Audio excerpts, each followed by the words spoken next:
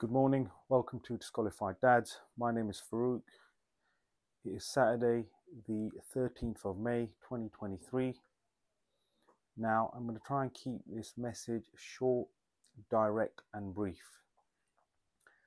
Sister Sally Ann Burris from Split the Difference will be conducting a meeting tonight via Zoom between the hours of 1900 hours and 2100 hours. That is between 7 and 9 this evening.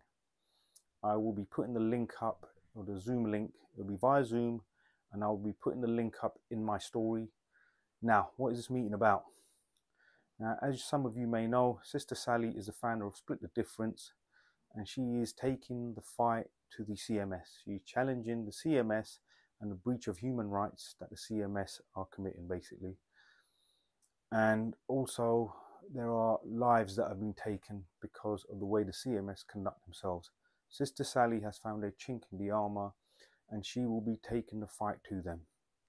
Now, I don't want to say too much on here.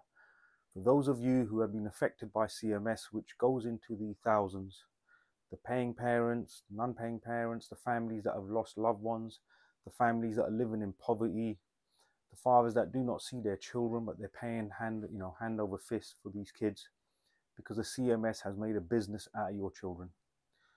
So what I suggest is time for moaning is over. People have been moaning for years. Facebook, this, that, back and forth. Moaning is great. This is your opportunity to make a difference. This is your opportunity to get behind Sister Sally Ann Burris, who will be taking the fight to them.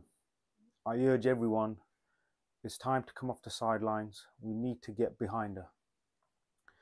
And what, what Sister Sally needs, what we need, if we're serious about this, we have one chance to bring change, make a dent into this, create awareness and exposure so people understand the evil that is in plain sight.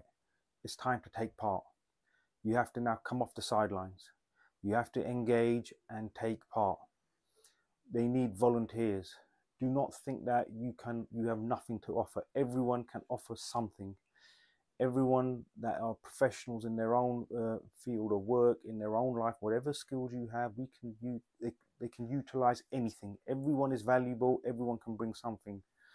I urge everyone in order to affect change for ourselves for our children for the sake of humanity to abolish this evil basically to challenge this evil we all have a duty. We need to come off the sidelines. We need to step forward. We need to get behind the movement now and the only way change will come is if we unite.